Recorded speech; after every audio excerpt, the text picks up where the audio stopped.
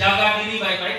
Untuk menyelamatkan industri migas di Indonesia, pemerintah memutuskan untuk segera melantik Yohanes Wijonarko sebagai Kepala SKK Migas yang baru. Langkah cepat ini diambil karena industri migas mempunyai revenue sekitar 1 triliun rupiah per hari. Pemerintah tidak ingin kasus suap ini mengganggu kinerja SKK Migas yang dianggap vital. Johannes juga menjamin penangkapan Rudi Rubiandini tidak akan mengganggu kinerja SKK Migas karena sistem yang ada sudah berjalan cukup baik. Makanya harus kita pisahkan, karena sistem ini berjalan. Kita pisahkan dari yang kepentingan individu dan sistem tadi. Nggak usah khawatir, ini semua berjalan dengan baik.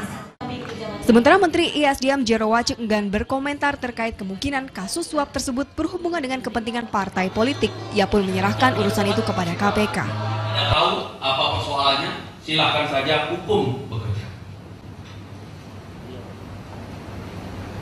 Ya, proses yang paling cepat kami lakukan kemarin adalah menyelamatkan industri migas. Sebelumnya Rabu malam pasca penangkapan Ruby Rubiandini, KPK secara serentak menggeledah tiga tempat sekaligus.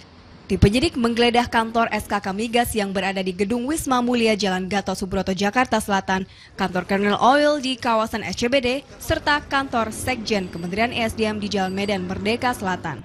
Penggeledahan ini dilakukan untuk melengkapi berkas dugaan suap terhadap mantan Kepala SKK Migas, Ruby Rubiandini.